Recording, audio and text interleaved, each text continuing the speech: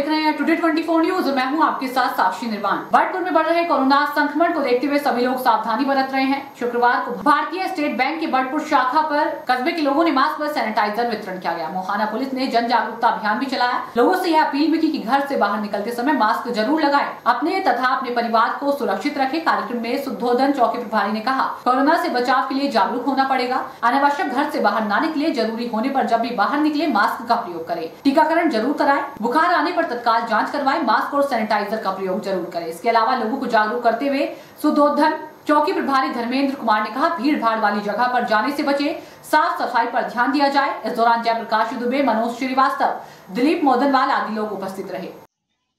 जी sir यहाँ जो कार्यक्रम मार्क्स वितरण कार्यक्रम किया गया है कौन करवाया है?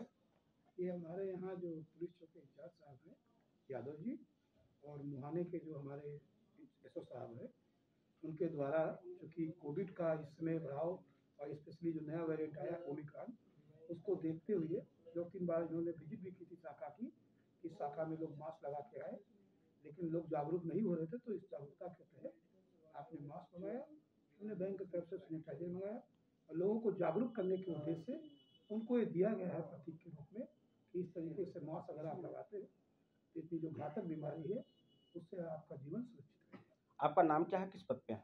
मैं शाखा प्रबंधक बाजपुर शाखा स्टेट बैंक की हूँ। मेरा नाम डी सी वर्मा है। धन्यवाद।